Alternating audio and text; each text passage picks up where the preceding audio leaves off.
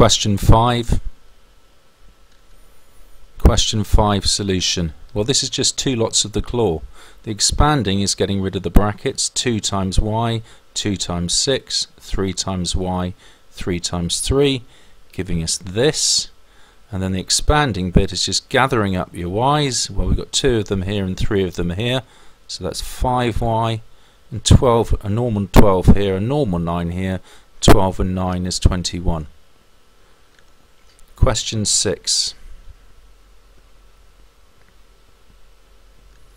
remember what factorizing means this means putting the brackets back in so start off by trying to get the number at the front. What's the biggest number that goes into both 5 and 10?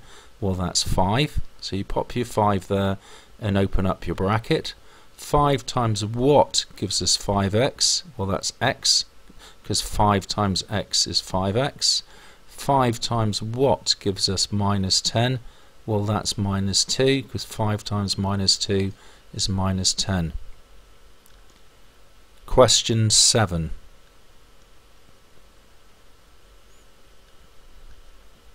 question 7 solution. Simplifying, so all we're doing here is gathering all the x's together and gathering all the y's.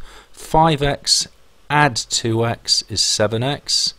Now be careful with the y's, that's a minus y, a taking away of 1y. So 3y take away y is 2y. Question 8.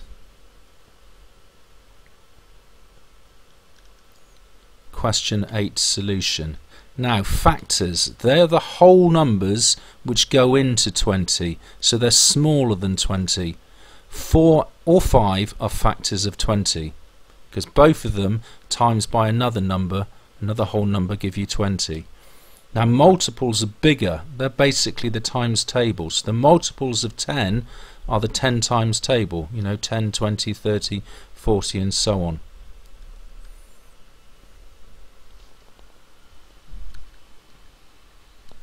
That's the end of part two.